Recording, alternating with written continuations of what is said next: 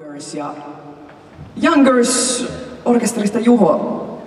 Minkälaista kuulumista kuuluu tällä hetkellä The Youngers orkesterille?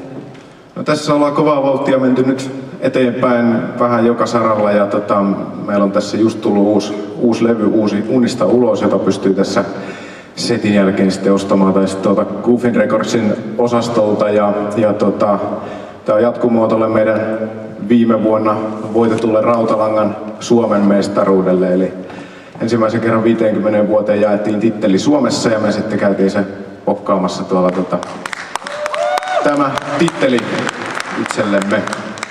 Mainiota, oletteko itse menossa käymään keikan jälkeen osastolla?